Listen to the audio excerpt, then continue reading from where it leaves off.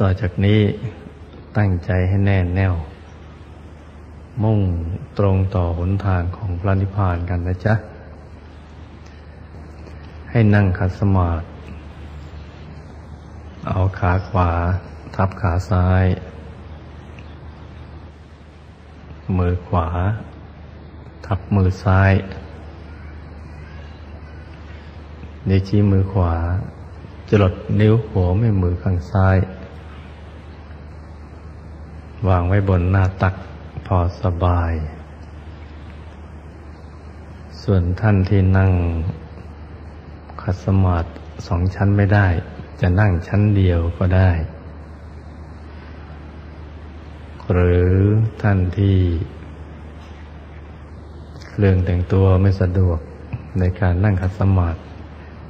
จะนั่งปรับเพียบก็ได้นะจ๊ะ แต่ให้เอามือขวาทับมือซ้ายดีชีมือขวาจลดนิ้วหัวไปมือข้างซ้าย วางไว้บนหน้าตัก เช่นเดียวกันนะจ๊ะทำแบบเดียวกัน หลับตาของเราเบาๆ หลับพอสบายคล้ายๆกับเรานอนหลับ สำคัญนะ ตรงนี้สำคัญ หลับพอสบาย คล้ายกับเรานอนหลับ เราจะสังเกตได้ว่าคนเราเวลานอนหลับนั่นนะตาเขาไม่เม้มปิดแน่น แบบคนทำตาหยี หรือปิดสนิทเลย อย่างนี้จะทำให้มึนทิศะตึงตรงบริเวณหัวคิ้วนะ ราะนั้นเวลาคนหลับเนี่ยเขาจะไม่เม้มตา แต่ก็ไม่ลืมตาโพลงจะหลับตาประมาณสักครึ่งค่อนลูก คล้ายกับจะเปิดปลือตา คล้ายกับปิดไม่สนิท มันเปิดปลือนิดหนึ่ง ให้มีความรู้สึกว่ากล้ามเนื้อบริเวณเปลือกตานั้นผ่อนคลาย ที่หลวงพ่อต้องย้ำตรงนี้เพราะว่า ในแง่ของการปฏิบัติจริง ๆ หลายท่านที่ไม่ประสบความสำเร็จ ในการปฏิบัติธรรมเพราะว่ามันทำไม่ถูกวิธีตั้งแต่เบื้องต้น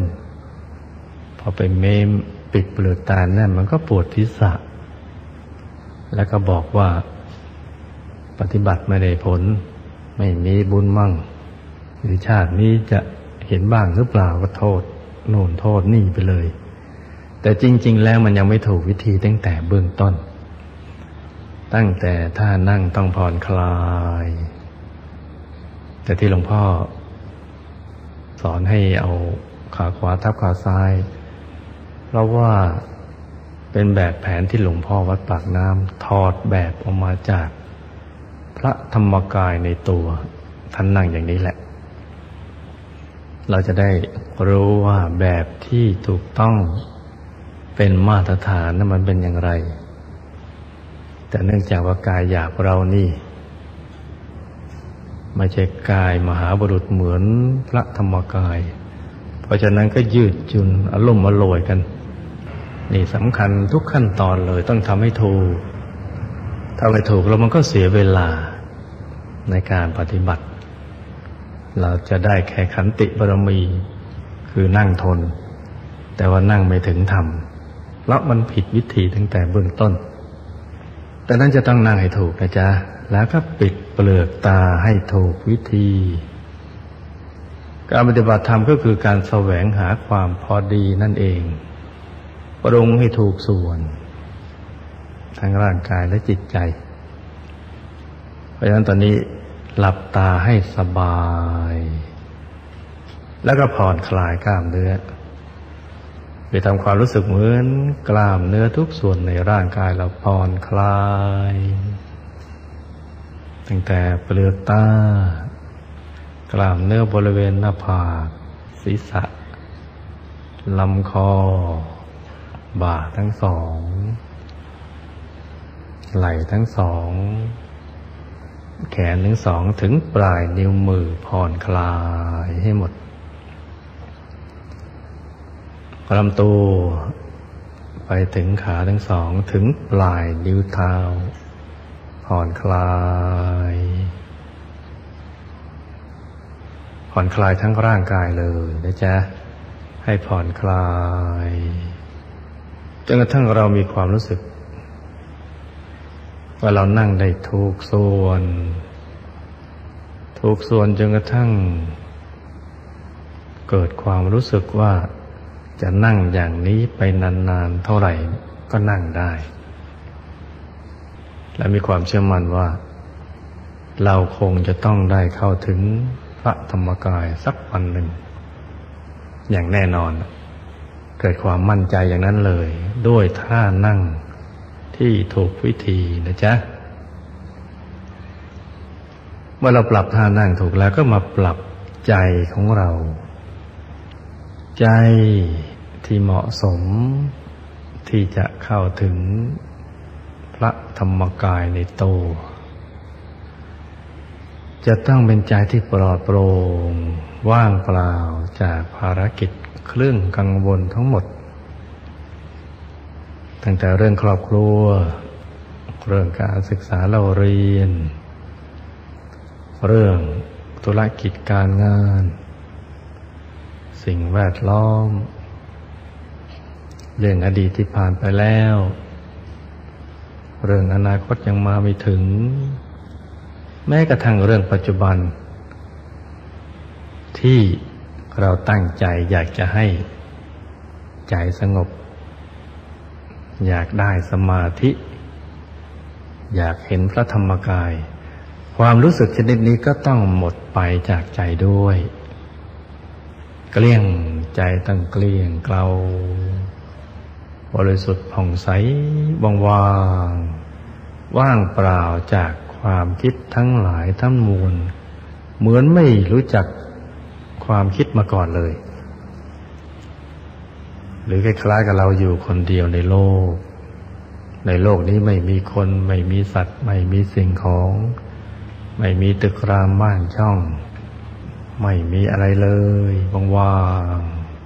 ๆใจอย่างนี้แหละ ใจที่ว่างเปล่าอย่างนี้นะจ๊ะ เหมาะสมที่จะเข้าถึง พระธรรมกายในตัว ถ้าเราทำได้วันนี้ เราก็ถึงวันนี้ ถ้าทำได้วันพรุ่งนี้ ก็ถึงวันพรุ่งนี้ ถ้าทำได้ปีหน้า ก็ถึงปีหน้า ถ้าทำได้ตอนใกล้จะตาย ก็จะเข้าถึงได้ตอนใกล้จะตาย เราเลือกเอานะจ๊ะ เราจะเอาอย่างไหนกันแล้วแต่เรา โลกแล้วแต่เรา ความสำเร็จ แล้วแต่เรา ถ้าเราชอบช้ากระทำแบบที่มันไม่ถูกวิธี ถ้าชอบเร็ว พอเราใจเร็วอะไรทุกอย่างเนี่ยก็ทำให้มันถูกวิธีซะ ก็จะได้เข้าถึง เพราะฉะนั้นใจที่เหมาะสมต้องว่างเปล่าปลอดโปร่งและต้องมีอารมณ์จิตที่เป็นกุศล บริสุทธิ์ผ่องใส มีความรัก มีความปรารถนาดี ต่อสรรพสัตว์สรรพสัตว์และสรรพสิ่งทั้งหลาย มีความปรารถนาดีต่อผู้ที่เป็นที่รักของเรา ตั้งแต่รักมาก รักปานกลาง รักน้อยน้อยเฉยเฉยไม่ถึงกับเกลียด กระทั่งถึงผู้ที่เราเคยคุณโมนเคยขัดเคือง เราจะต้องมีความรู้สึกอย่างนี้นะจ๊ะ กับคนที่เคยทำให้เราไม่สบายใจ ช้ำอกช้ำใจ ว่าฉันจะลืมเธอซะลืมเรื่องที่เธอทำกับฉันเอาไว้นะและยังไม่พอนะจ๊ะ และขอให้เธอมีความสุขด้วย ขอให้เธอประสบความสำเร็จในชีวิตทุกๆด้านเลย ชีวิตเธอมีความสุข ครอบครัวเธอมีความสุข การงานเธอสำเร็จสำเร็จทุกอย่างไปเลย และยังไม่พอนะจ๊ะ จะต้องให้ความรักกับตัวของเราเองด้วย ความรักที่ยิ่งใหญ่ คือรักตัวเรา รักตัวเราอย่างไร อย่าทำร้ายตัวของเราด้วยการนำสิ่งที่ทำให้ใจเราร้อน เราเศร้า เป็นทุกข์ ไม่สบายใจจนกระทั่งท้อ หมดแรงที่จะสร้างความดีต่อไป จะต้องไม่มีอย่างนี้ด้วย ถ้าทำได้อย่างนี้ นับไปเลยนะจ๊ะห้านาทีสิบนาที ไม่เกินครึ่งชั่วโมง ใจหยุดกึกเลย หยุดนิ่ง แจ่มใสจนกระทั่งเกิดความรู้สึกว่าโอ้ตั้งแต่เกิดมานี่ ไม่เคยมีความสุขอย่างนี้เลย ก็เพราะมัวไปทำลายตัวเอง ตลอดวันตลอดคืน ตลอดเวลา ว่าคนโน้นเธอทำกับฉันสิ่งนี้ไม่น่าทำกับฉันอะไรอย่างนั้นมันก็กลุ้มใจเป็นทุกข์ใจ แล้วจะเข้าถึงความสุขภายในได้อย่างไร จะเข้าถึงพระธรรมกายภายในได้อย่างไร ก็เข้าไม่ถึง เมื่อเข้าใจอย่างนี้ดีแล้ว ต่อจากนี้จะได้แนะนำวิธีการปฏิบัติธรรม เพื่อเข้าถึงพระธรรมกาย พระธรรมกายนี้ท่านมีอยู่ในตัวเราทุกคน ทุกชาติ ทุกภาษา ไม่ว่าจะชาติไหนภาษาไหนก็แล้วแต่ขึ้นชื่อว่าเป็นมนุษย์ ล้วนแต่มีพระธรรมกายอยู่ในตัวทั้งสิ้น แต่ว่าเป็นกายละเอียดซ่อนอยู่ภายใน อยู่ในกายลึกๆซ้อนเป็นชั้นๆเข้าไป หลายชั้นเข้าไปทีเดียว ตั้งแต่กายมนุษย์ละเอียดซ่อนอยู่ในกายหยาบ กายทิพย์ซ่อนอยู่ในกายมนุษย์ละเอียด กายรูปพรมซ่อนอยู่ในกลางกายทิพย์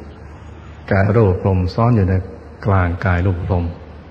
กายธรรมหรือพระธรรมกายเนี่ยซ้อนอยู่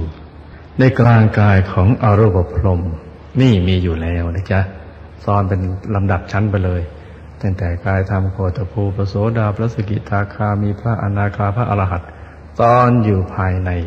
อยากเห็นพระอริยเจ้า พระอริยบุคคล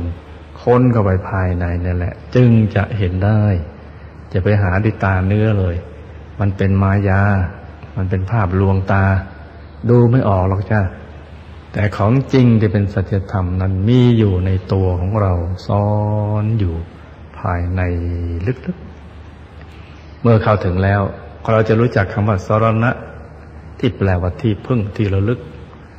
เข้าถึงแล้วสงบสะอาดสว่าง เป็นผู้รู้ผู้ตื่น ผู้เบิกบานแล้ว เป็นอย่างไร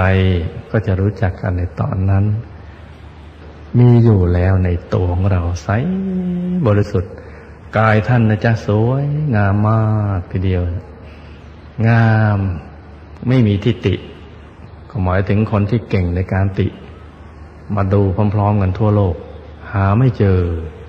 ไม่มีทิฏฐิเลย น่าจะไม่มีทิฏฐิแล้วยังชื่น ชมพงงามเหลือเกิน สวยเกินสวยใสเกินใส ใสกว่าเพชร เพชรที่ว่าใสแล้วเนี่ย ถ้ามาเทียบกับความใสของพระธรรมกายในตัวเทียบกันไม่ได้เลย เหมือนเอาเหมือนเอาถ่านนำมาเทียบกับเพชรอย่างนั้นแหละอยากจะใส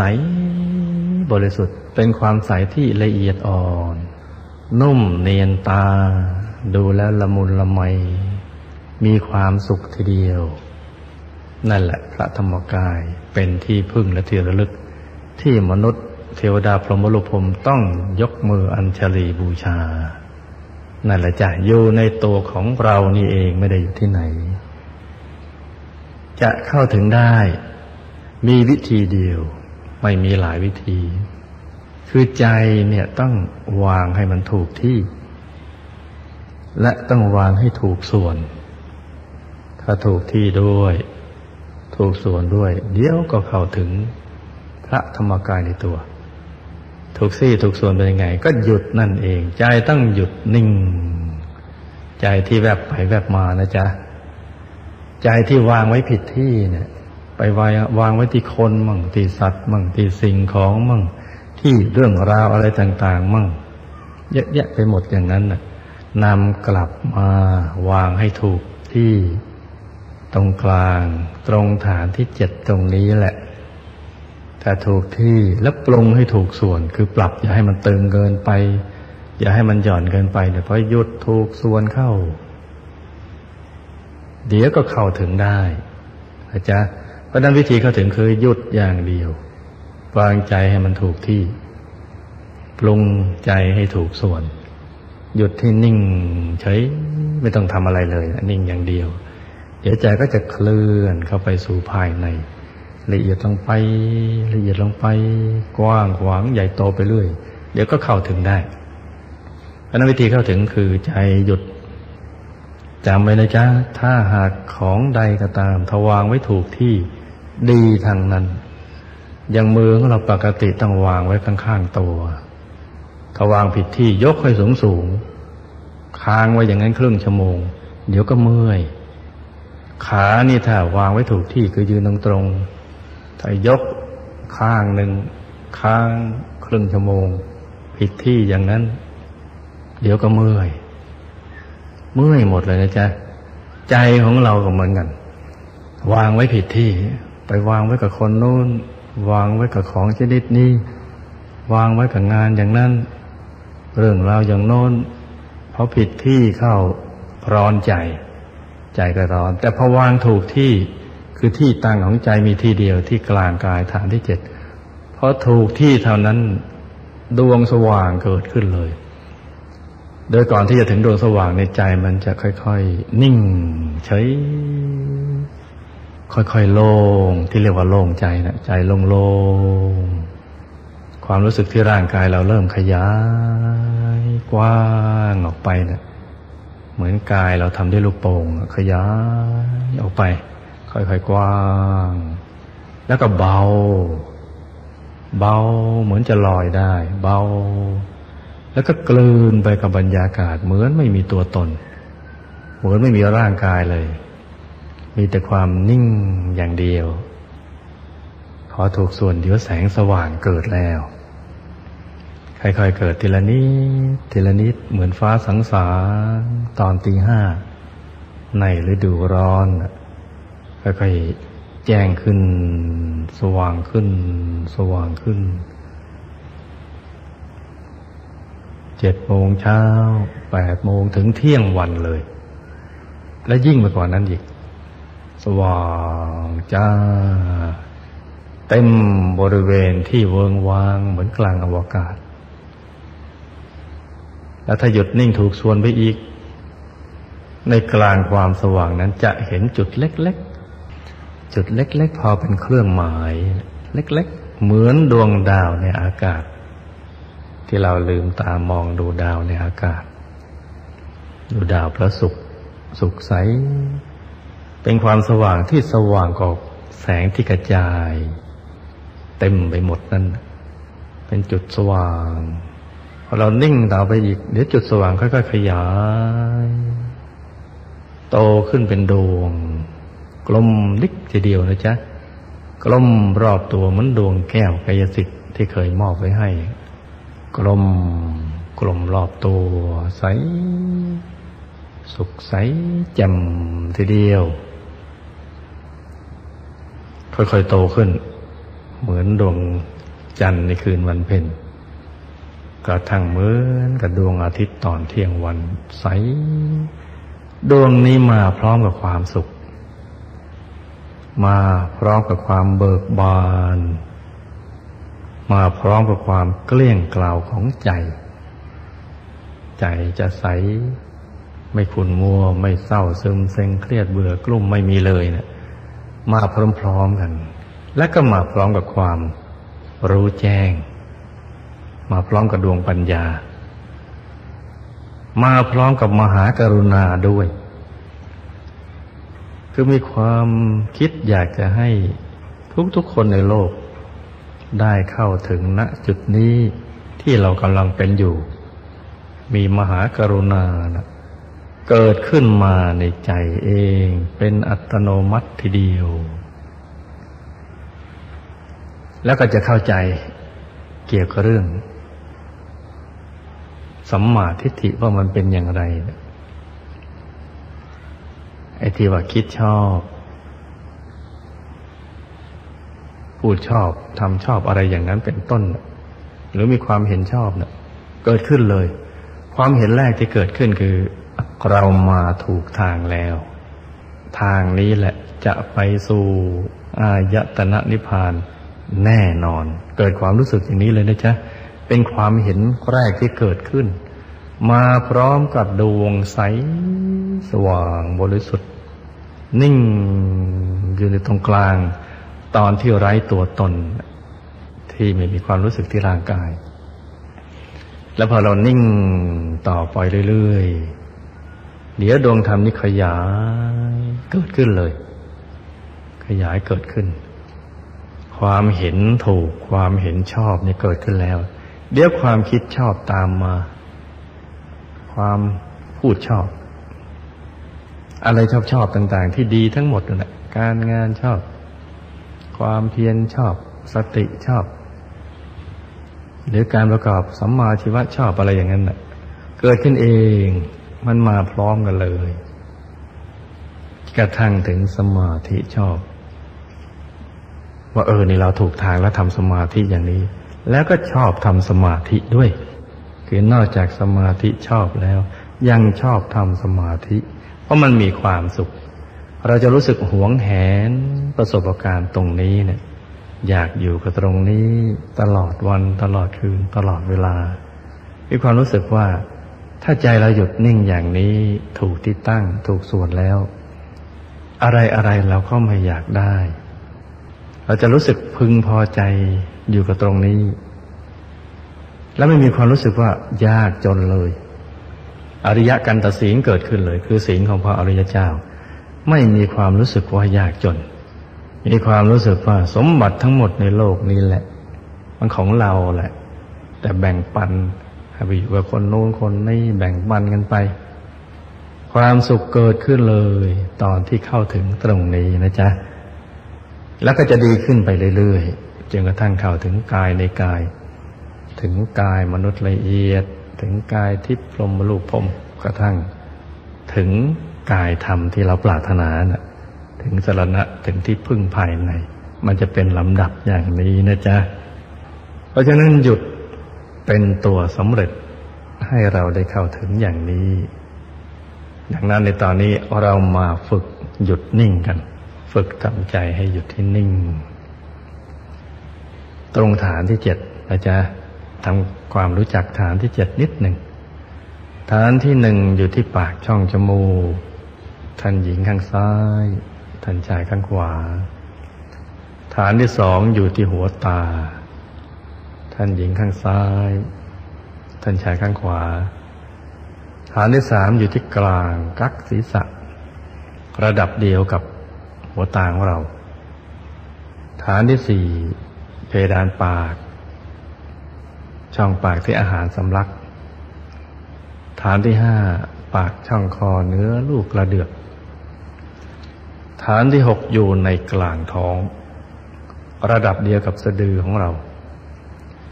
สมมุติเราเอาเส้นได้สองเส้นมาขึงให้ตึง เส้นหนึ่งขึงจากสะดือทะลุไปด้านหลัง อีกเส้นหนึ่งขึงจากด้านขวา ทะลุมาด้านซ้าย ให้เส้นทั้งสองตัดกันเป็นกากบาท ตรงจุดตัดตรงนั้นแหละฐานที่หกยกถอยหลังขึ้นมาสองนิ้วมือ สมมติเอานิ้วชี้นิ้วกลางวางซ่อนกัน และนำไปทาบตรงจุดตัดของเส้นได้ทั้งสอง สูงขึ้นมานั่นแหละ ฐานที่เจ็ดจำไว้แค่นี้เท่านั้นเองนะจ๊ะ ว่าฐานที่เจ็ดอยู่ที่ตรงไหน แต่หลวงพ่อ พูดต่อไปเรื่อย ๆ ว่าให้เอาใจหยุดไว้ที่ฐานที่เจ็ดก็หมายเอาตรงนี้นะจ๊ะ ตรงที่เหนือจากจุดตัดของเส้นได้ทั้งสองขึ้นมาสองนิ้วมือท่านในแง่ของการปฏิบัติ กระทึกทักเอาวันในกลางท้องก็แล้วกัน กลางท้องตรงไหนก็ช่าง ที่เราพึงพอใจตรงนั้นแหละฐานที่เจ็ดเพราะฐานที่เจ็ดเนี่ยจะเห็นได้จริง ๆ ต่อเมื่อใจมันหยุดนิ่ง พอถูกส่วนแล้วก็เห็นชัดเลย เออ มันเหนือจากฐานที่หกขึ้นมาสองนิ้วมือจริง ๆ แต่เมื่อเรายังเข้าไม่ถึงก็ถึกทักเอาว่าในกลางท้องณจุดที่เราวางใจแล้วสบาย นั่นแหละฐานที่เจ็ดอาจารย์จำตรงนี้เอาไว้นะหลวงพ่อวัดปักน้ำภาษีเจริญ ท่านให้กำหนดเครื่องหมาย คือที่วางใจที่หยุดใจของเรา ให้กำหนดเครื่องหมายให้ใสบริสุทธิ์ เป็นเพชรลูก ที่ใสบริสุทธิ์ เป็นเพชรลูกที่เจรไนแล้ว ใสบริสุทธิ์ เป็นเพชรลูกที่เจรไนแล้ว ไม่มีขีดข่วนคล้ายขนแมว โตเท่ากับแก้วตาของเรา ใสบริสุทธิ์กำหนดตรงนั้นแหละ ตรงฐานที่เจ็ดในกลางท้องของเรานะจ๊ะ ให้กำหนดเป็นที่หยุดใจเราว่าหยุดตรงนี้แหละ ตรงนี้แล้วก็นึกถึงภาพ นึกถึงภาพ เครื่องหมายนี้ให้ใสบริสุทธิ์ทีเดียวนะจ๊ะ นิ่งให้ใจหยุดนิ่งตรงนี้ แล้วก็ภาวนาสัมมาอรหังเรื่อยไปเลย สัมมาอรหังจะภาวนากี่ครั้งก็แล้วแต่ใจเราชอบ คือภาวนาไปจนกว่าใจจะหยุด พอใจหยุดแล้วมันลืมภาวนาไปเองนั่นแหละ คือภาวนาไปถึงตรงนั้นนะตรงที่ใจหยุดนิ่ง และลืมคำภาวนา มีแต่ดวงใสปรากฏอย่างเดียว นี่หลวงพ่อวัดปองน้ำท่านสอนอย่างนี้นะจ๊ะ แต่ถ้าบางคน นึกอย่างนี้ไม่ออกเนี่ย ก็พอมีทางออก คือให้นึกถึงพระรัตนตรัย นึกถึงพระพุทธเจ้า นึกถึงพระธรรมคำสอนของท่าน หรือนึกพระสงฆ์แทนแทนบริกรรมนิมิตตรงนั้นก็ได้นะจ๊ะ เพราะเป็นวัตถุที่เราลึกนึกถึงแล้วทำให้ใจเราบริสุทธิ์ เช่น นึกถึงพระพุทธเจ้าก็ให้นึกถึงพระแก้วใสๆเป็นตัวแทนของพระพุทธเจ้า คือนึกถึงพระแก้วใสๆบางคนเป็นอย่างนี้จริง ๆ นะจ๊ะ ให้นึกถึงจุดสว่างหรือดวงสว่าง มันนึกไม่ออก แต่เพราะกราบไหว้พระทุกวัน พอบอกกำหนด ให้นึกถึงพระพุทธรูปองค์ใดองค์หนึ่ง เป็นตัวแทนของพระพุทธเจ้า แล้วเขานึกง่าย แต่ใครถนัดอย่างนี้ก็ให้นึกถึงพระแก้วใสบริสุทธิ์แทนพระสัมมาสัมพุทธเจ้านะจ๊ะถ้าหากชอบระลึกนึกถึงพระธรรมคำสอนของท่าน ก็ให้นึกถึงดวงแก้วเป็นตัวแทน เป็นสิ่งแทน คำสอนหรือธรรมรัตนะ ก็กำหนดดวงแก้ว ถ้าชอบอย่างนี้นะ เพราะดวงแก้วไม่มีหยักมีงอ เหมือนร่างกายมันกลมอย่างเดียวนึกง่าย ใครชอบอย่างนี้ ก็ให้นึกดวงแก้วอย่างนี้ นึกอย่างสบายๆนะจ๊ะหรือใครอยากจะนึกถึงพระอริยเจ้าหรือสังฆรัตนะ ก็ให้นึกถึงภาพหลวงพ่อวัดปากน้ำครูของเรานี่แหละเป็นสิ่งแทนตัว นึกถึงผู้คนพบวิชาธรรมกาย ครูของเรา อาจารย์นึกถึงภาพท่านก็ได้เพราะบางท่านพอนึกถึงภาพท่านแล้วใจสบายหยุดนิ่งง่าย ก็ให้นึกถึงภาพหลวงพ่อวัดปากน้ำพระศรีเจริญ ดังนั้นอย่าสับสนนะจ๊ะว่าเราจะเอาอย่างไหนดี อย่างไหนก็ได้ จะเป็นพระแก้วใสบริสุทธิ์ จะเป็นดวงแก้วใสบริสุทธิ์ หรือจะเป็นหลวงพ่อวัดปากน้ำเริ่มต้นก็ก็เหมือนกับรูปภาพที่เราเคยเห็นหรือรูปหล่อรูปปั้นแล้วต่อไปท่านใสเหมือนเพชรก็ได้ หรือจะทำตามสอนคำสอนของท่านที่ให้กำหนดเครื่องหมาย ให้ใสก็ได้ แต่วิธีนึก ให้นึกเหมือนกัน วิธีนึก ให้นึกอย่างสบาย สบายคล้ายกับเรานึกถึงสิ่งที่เรารัก จะเป็นคนเป็นสัตว์เป็นสิ่งของเรารักสิ่งไหนรู้สึกเราจะนึกอย่างนั้นได้ง่าย เป็นธรรมชาติ นึกอย่างธรรมดาภาพนั้นก็มาปรากฏในใจ ให้นึกอย่าง ง่ายๆ สบายๆ อย่างนี้นะจ๊ะ นึกอย่างนี้แหละ ทีนี้การนึกกับการเห็นนี่มันไม่เหมือนกันนะ อย่าไปสับสนนะจ๊ะหลวงพ่อมีวัตถุประสงค์ตอนนี้ให้นึก แต่ยังไม่ได้มีความประสงค์ให้เห็น ให้การเห็นเป็นผลต่อเนื่องจากการนึก เพราะฉะนั้นภาพที่เรานึกเนี่ย ไม่ว่าจะเป็นของรัก คนที่เรารักก็ดี จะให้มันชัดเจน เหมือนเราไปลืมตามองสิ่งนั้นนะมันไม่ได้ มันก็จะเห็นหรือนึกได้ชัดเจน เท่าที่เราคุ้นเคยกับสิ่งนั้น ถ้าคุ้นเคยมาก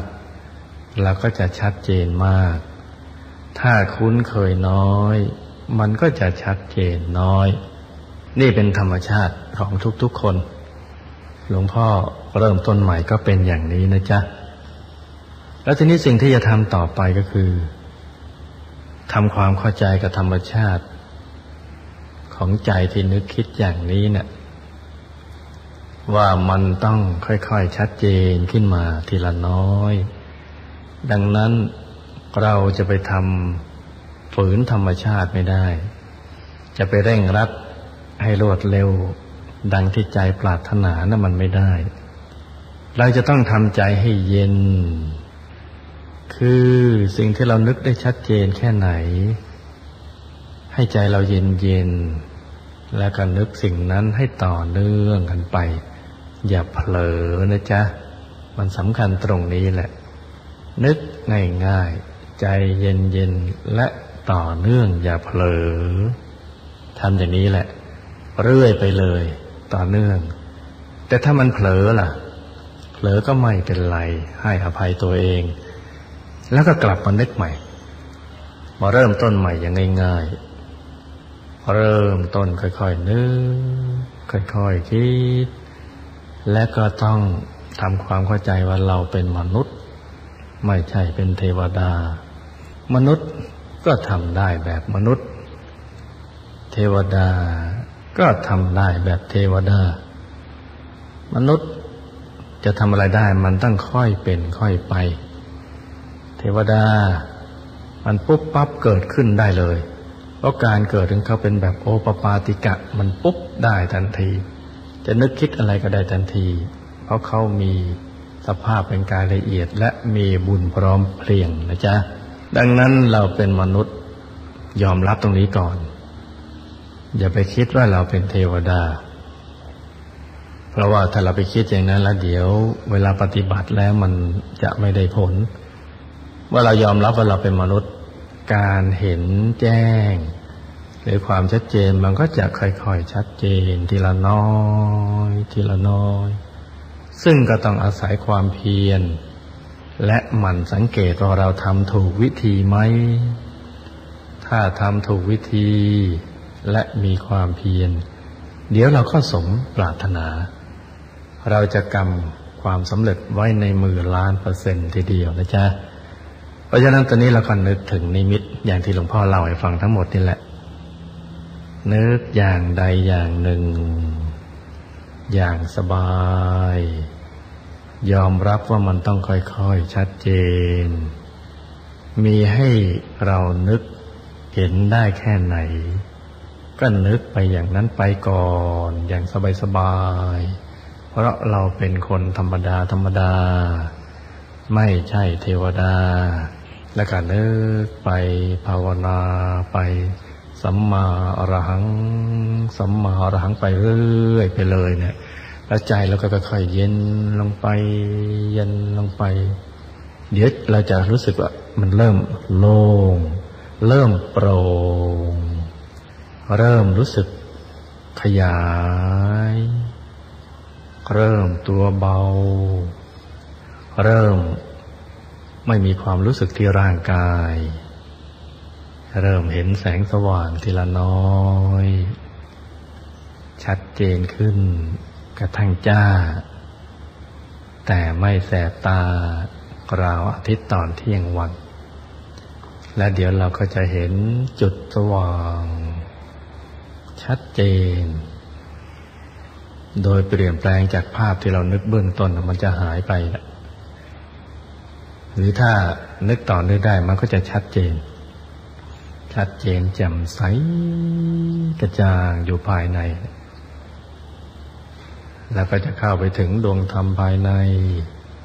ถึงกายภายในและถึงพระธรรมกายในที่สุดนะจ๊ะ เข้าใจอย่างนี้แล้วก็ต่างคน ต่างทำกันไปเงียบๆกว่าจะถึงเวลาอันควร ตอนนี้ให้ทำใจหยุดนิ่งอย่างที่หลวงพ่อได้แนะนำเอาไว้ทุกๆคน ด้วยใจที่เบิกบาน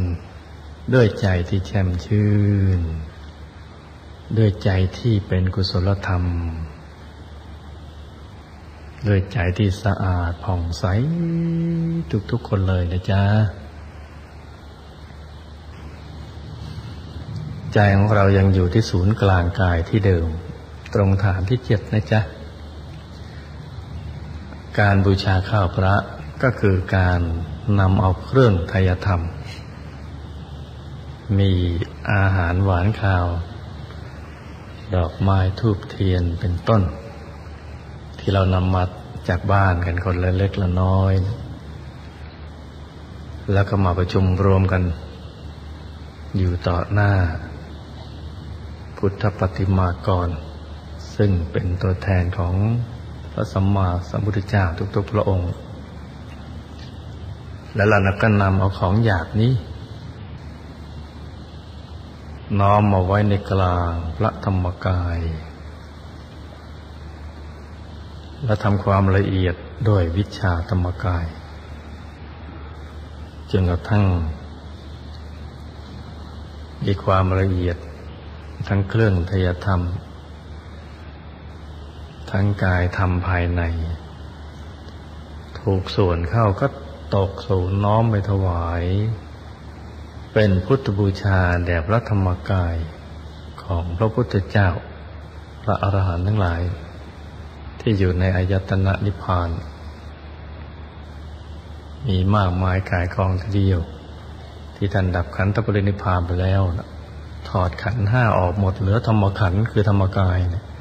ปรากฏอยู่ในอายตนะนิพพาน และเราก็น้อมถวายเครื่องไตรธรรมทั้งหมดเหล่านี้เนี่ยอย่างนี้เรียกว่าบูชาข้าวพระ แต่ไม่ได้หมายถึงว่าพระธรรมกายท่านจะสวยอาหาร เหมือนพระสงฆ์ขบฉันอย่างนั้นไม่ใช่นะจ๊ะ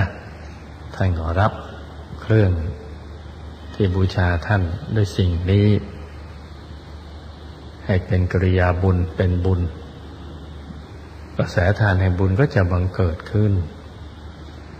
มากมายทีเดียว บังเกิดขึ้นมาในกลาง ศูนย์กลางกายของท่านแล้วก็มาจรดที่ศูนย์กลางกายของเรา สว่างมากทีเดียว นี่เป็นบุญใหญ่ พระธรรมกายก็คือพระพุทธเจ้านั่นเอง พระสัมมาสัมพุทธเจ้าท่านตรัสไว้นะธรรมกายโยอาหังอิติปิ ธรรมกายดีแหละ ไม่ใช่กายเนื้อ กายเนื้อคือพระสิทธัตถะส่วนที่ทำให้เป็นพระพุทธเจ้า เพราะท่านเข้าถึงกายธรรมภายใน เพราะฉะนั้นกายธรรมที่ปรากฏอยู่ในอายตนะในพานล้วนแต่เป็น กายธรรมของพระพุทธเจ้า พระอรหันต์ทั้งหลาย ทั้งหมดเลยปัจจัยหลุดจะขันห้าไปเป็นอันหนึ่งอันเดียวกับธรรมกายนั่นแหละก็จะเป็นอย่างนี้แหละ ให้เข้าใจอย่างนี้นะจ๊ะ การถวายบูชาข้าวพระอย่างนี้จึงมีอานิสงส์มากถูกตัวจริงของพระพุทธเจ้า พระอรหันต์ทั้งหลาย นับพระองค์ไม่ท้วนทีเดียว กระแสแทนแห่งบุญแต่ละพระองค์ ก็จะมารวมจรดที่กลางกายเรา บุญจึงจะนับจะประมาณไม่ได้ เป็นอสงไขยอัปมาณังนับกันไม่ท้วนทีเดียว เพราะฉะนั้นตอนนี้ให้ใจเราหยุดนิ่งนะ หยุดนิ่งตรงกลาง ตรงฐานที่เจ็ดใครยังเข้าไม่ถึงดวงธรรม ก็หยุดอยู่ตรงนั้นแหละ ใครที่เข้าถึงดวงธรรมแล้วก็เอาใจหยุดอยู่กลางดวงธรรม ใครที่เข้าถึงกายภายใน ก็เอาใจยุดอยู่ตรงกลางภายกายภายใน ใครที่เข้าถึงกายธรรมก็เอาใจยุดอยู่ที่กลางกายธรรมหยุดในหยุดหยุดในหยุดนิ่งใช้สบายสบายเนี่ยยิ่งหยุด กายยิ่ง ใส ชัด สว่าง ใหญ่โตขึ้น เร็วเคลื่อนเข้าไปเร็วทีเดียว เกิดขึ้น ใหญ่โตทีเดียว ยิ่งหยุดยิ่งเร็ว เป็นความอัศจรรย์ที่ณจุดเดียวกัน จุดที่อยู่นิ่งกับจุดที่วิ่งได้เคลื่อนได้ ไปด้วยกัน ไปด้วยกันนี่เป็นสิ่งอัศจรรย์ทีเดียวนะจ๊ะปกติเราเห็นด้วยตามนุษย์เนี่ยสิ่งอะไรหยุดก็อยู่ตรงนั้นแหละ มันไม่ไปไหน นั่นเขาเรียกว่าหยุดอยู่ แต่หยุดภายในนั้น หยุดแล้วไป หยุดไป หยุดแล้วเคลื่อนณนะจุดตรงนี้แหละ สิ่งที่นิ่งกับสิ่งที่เคลื่อน มันไปพร้อมกัน อัศจรรย์จริงเดียว ตรงนี้แหละ อยากให้เข้าถึงเงินหมดเลยจะได้พูดเหมือนกับว่าอัศจรรย์จริง มันเคลื่อนเข้าไปเลย อย่างนี้นะจ๊ะ เพราะฉะนั้นเราหยุดนิ่ง การประกอบพิธีบูชาข้าวพระต้องอาศัยผู้ที่ชำนาญการเรื่องวิชาธรรมกาย เพราะฉะนั้นคุณยายก็คุมขึ้นไปเลย น้อมไปเรื่อยเลย เครื่องทายธรรมทั้งหลาย หลวงพ่อก็จะคุมไปด้วยไปพร้อม ๆ กันทัดทวีไปถวาย คือปัจจัยหยุดกันไปเลยพระธรรมกายโตใหญ่หนักขึ้น มีปริมาณเพิ่มขึ้นพลึบไปเลย เครื่องทายธรรมก็พลึบ เต็มไปหมดเลย ใสบริสุทธิ์ เท่าความใสบริสุทธิ์ของพระธรรมกาย เต็มไปหมดเลย เป็นระเบียบแบบแผนงดงามมากเราก็นึกน้อมใจไปว่า เราจะ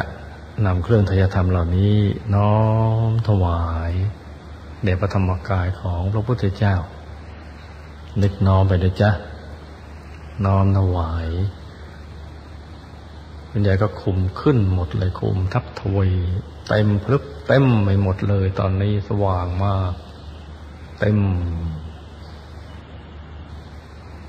ทับทวีกันไปเรื่อยเลยตั้งแต่โตใหญ่หนักขึ้นไปปริมาณกาย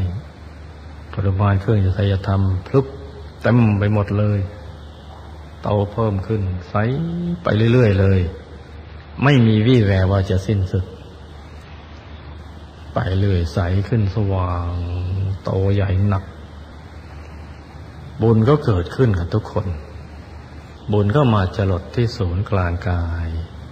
เป็นบุญ ที่จะทำให้เราไปถึงที่สุดแห่งธรรม คือไปถึงจุดสุดท้าย พร้อมๆกันเลย บุญนี้นะจ๊ะเกิดขึ้นเป็นดวงบุญใหญ่โตบุญนี่เป็นสิ่งที่อยู่เบื้องหลัง ของความสุขและความสำเร็จในชีวิตทุกระดับ ทั้งในระดับของโลกียะเรื่อยไปเลยปุถุชนจนกระทั่งถึงความเป็นพระอริยเจ้า บุญส่งผลตลอด ช่วงใดบุญให้ผลความสุขความสำเร็จในชีวิตก็บังเกิดขึ้น แต่ช่วงไหนบาปก็ให้ผลก็ตรงกันข้ามกันไปกำลังต่อสู้กันอยู่ กำลังต่อสู้ในกลางกำลังชิงเข้าไส้กลางกันอยู่ไกลละเอียดกว่ากัน เขาก็ทำได้ผลก่อน แต่เราละเอียดกว่าเขาโลกก็อยู่เย็นเป็นสุข เราก็อยู่เย็นเป็นสุข เราอยู่เย็นเป็นสุขก่อน แล้วก็โลกสิ่งแวดล้อมอยู่เย็นเป็นสุขไปหมด ถ้าเขาละเอียดกว่าเราก็ตรงข้าม มนุษย์สับสนมีความทุกข์ทรมานวุ่นวายกันไปหมดเลย บุญนี่แหละ ที่เรากำลังทำอยู่นี่เป็นบุญพิเศษ ที่จะทำให้เราไปถึงที่สุดแห่งธรรม ไปรู้ไปเห็นวิชาธรรมกาย ว่ามันเป็นอย่างไรได้ยินได้ฟังกันมานานทีเดียวนะก็จะเห็นชัดแล้วก็หายสงสัยด้วยตัวของเราเอง เมื่อหายสงสัยแล้วก็จะได้ตั้งเป้าหมายของการดำเนินชีวิตของชีวิตเราได้ถูกต้อง แล้วต่อจากนี้ไปมันก็จะไม่งอนแงนไม่คลอนแคลนไม่ว่าอะไรจะเกิดขึ้นก็แน่วแน่ เป็นอาจละศรัทธาเชื่อมั่นแน่วไปเลย เพราะเห็นแล้วหายสงสัยแล้ว นี่แหละจ้ะเพราะฉะนั้น ตอนนี้บุญกำลังเกิดขึ้น เราก็ขอบุญขอบารมีรัศมีกำลังฤทธิ์อำนาจสิทธิเทียบขาดของพระเจ้าทุก ๆ พระองค์ ให้ถึงแก่พวกเรา ให้พวกเรามีความสุขมีความเจริญคิดไรสมความปรารถนาให้มีดวงตายเห็นธรรม ธุรกิจการงานก็ให้เจริญรุ่งเรืองอุปสรรคต่างๆนานาก็ให้ละลายหายสูญไปให้หมด ให้พลิกผันเหตุการณ์ร้ายให้กลายเป็นดี ให้รวบรวมสมบัติมาเป็นมหาสมบัติได้บังเกิดขึ้น ไว้ใช้สร้างบารมีกันอย่างไม่รู้จะหมดจะสิ้น ฏิบัติธรรมะก็ให้หยุดนิ่งได้ง่าย ปลอดกังวลเข้าถึงพระธรรมกาย สุขกายสุขใจทั้งวันทั้งคืนตลอดเวลา จะไปทำหน้าที่ผู้นำบุญยอดกัลยาณมิตรก็ให้มีพลังบุญพิเศษ จะไปแนะนำไปชักชวนใครก็ตามว่าเธอเป็นเจ้าของบุญเธอต้องมาทำบุญ ก็ให้เขามีจิตเลื่อมใสในพระรัตนตรัยในบุญในกุศลแล้วก็มาร่วมบุญกัน เนี่ยบุญเนี่ยเราอธิษฐานจิตทีเดียวนะ อุปสรรคต่าง ๆ นานาที่มันเกิดขึ้นมานะถ้าเรามีบุญมากมันก็ผ่านพ้นไปได้ ถ้าบุญเรายังน้อยอยู่หนักก็เป็นเบา ถ้าไม่มีบุญเลยก็ทุกข์ทรมานอย่างเดียวเพราะฉะนั้นเราก็ต้องหยุดนิ่งอธิษฐานจิตนะจ๊ะตั้งใจให้ดีอธิษฐาน อธิษฐานให้ดี ให้นิ่งอยู่ในกลาง ศึกษาเราเรียนก็ให้สมความปรารถนา ให้ครอบครัวอยู่เย็นเป็นสุข ให้ครอบครัวนี้อยู่เย็นเป็นสุข เป็นครอบครัวธรรมกาย ให้นิ่งอธิษฐานเอาของตัวเราก่อนอธิษฐานให้นิ่ง พอดีแล้วเราก็แผ่ไปยังสรรพสัตว์ทั้งหลายไม่มีประมาณ